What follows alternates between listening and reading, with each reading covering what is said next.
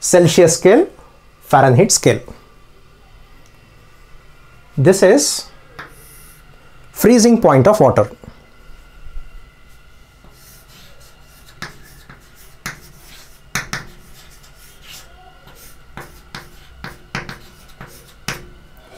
Freezing point of water in Celsius scale is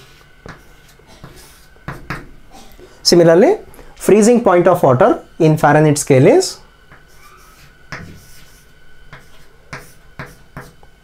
zero degree Celsius or 32 degree Fahrenheit.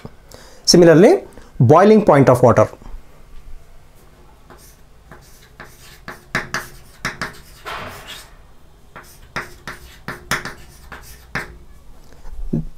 For water only okay? Boiling point of water boiling point of water.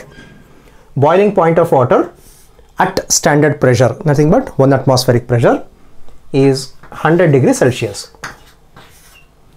and in fahrenheit it is 212 degree fahrenheit now understand 0 to 100 this temperature difference is equally divided into 100 and each equal to 1 degree Celsius. So there are 100 divisions, 100 divisions between freezing point and boiling point. Whereas in Fahrenheit scale, freezing point to boiling point has 180 divisions. 32 plus 180 is 212 degree Fahrenheit. So freezing point of water and boiling point of water is equally divided into 180 divisions. So each division is equal to 1 degree Fahrenheit. And what is the relation between Celsius scale and Fahrenheit scale means the equation F minus 32 by 180 equal to C by 100 this is temperature in Fahrenheit scale, temperature in Celsius scale, Fahrenheit scale minus 32 divided by 180. In Fahrenheit scale, there are 180 divisions, 180. Celsius scale, there are 100 divisions. So this is the equation used. So this can also be written as temperature in Fahrenheit minus 32 by 180 equal to temperature in Celsius by 100. Just a change in notation. Students, these two equations are same, only change in notation. Be flexible with notations. Don't stick on to single notation because you might be referring different study materials, notes, textbook, materials given by some institute or standard books, international books so they use different notations. If you are flexible with notations, then you can go through all the books, all the reference books without any confusion. A graph of temperature in Fahrenheit and temperature in Celsius scale. Temperature in Fahrenheit, temperature in Celsius. Y axis, x axis. 0 degree Celsius, 100 degree Celsius. 0 degree Celsius in Fahrenheit it is 32 so this is 32 for reference let me draw lines.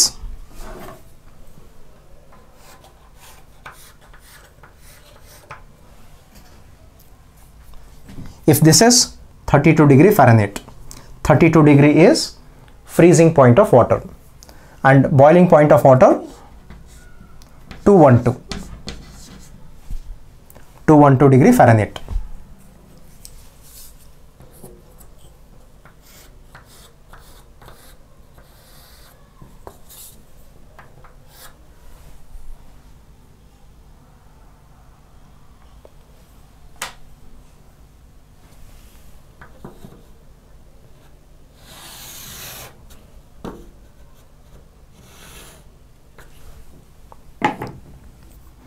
So this is how temperature in Celsius and temperature in Fahrenheit varies. freezing point of water in celsius 0 degree. In fahrenheit 32 boiling point of water in celsius scale 100 degree celsius. In fahrenheit 212 so this point is 212 now let us see how to get the equation to go from celsius to fahrenheit and fahrenheit to celsius. Derivation is not important. Students please note derivation is not important. But let us know how to get the equation. Let me consider a point on this straight line. Whose coordinates are celsius scale fahrenheit? So c comma f. Coordinates of this point it is on y axis so 0 comma 32 coordinates of this 100 comma 212 if this is by construction then this difference is then this difference is 180 and this difference is 100 if it is a straight line students you know that slope of a straight line is constant. You take slope at any part of straight line it turns out to be constant. And slope is given by slope m is given by delta y by delta x. Also equal to y2 minus y1 x2 minus x1 isn't it? So this is how we find out slope. Now slope equal to let me use delta y by delta x. This is delta y this is delta y and this is delta x. So delta y by delta x is 180 by 100 180 by 100 equal to now let me use this for this slope. X1 y1 x2 y2 x1 y1 x2 y2 so first is y2 minus y1 y2 minus y1 f minus 32 f minus 32 divided by x2 minus x1 x2 minus x1 c minus 0 c minus 0 so rearrange this equation. We get the previous equation. See? C minus 0 is c. This is f minus 32 rearrange. F minus 32 by 180 equal to c by 100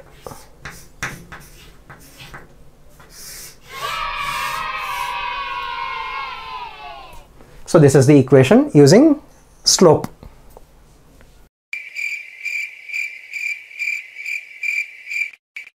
Instead of writing f I can write T f minus 32 by 180 equal to c. Instead of writing c T c by 100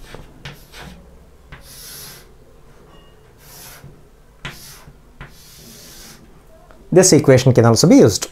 Just change the notation. Now let me rearrange try to get the equation. Consider this or consider this. 0 0 2 5 times 2 9 times. So there is 9 here there is 5 here. C equal to c equal to take this 5 to the other side 5 by 9 5 by 9 into f minus 32 into f minus 32 if temperature is in Fahrenheit to get temperature in Celsius you can use this equation. Now the other way C by 5 9 let me take 9 to the other side.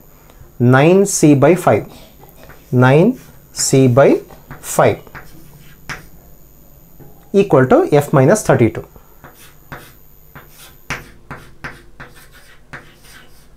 So this minus 32 to the other side gives plus 32. So f equal to 9c by 5 plus 32. So if temperature in Celsius scale is given, then to get Celsius temperature in Fahrenheit, we have to use this equation. True. It is true that nowadays we use Google Translator. Google conversion software, isn't it? If we give Fahrenheit to Celsius or Celsius to Fahrenheit, we get some table where you have to feed temperature in Fahrenheit, we get temperature in Celsius. Temperature in Celsius, we get temperature in Fahrenheit. That particular unit of software uses this equation.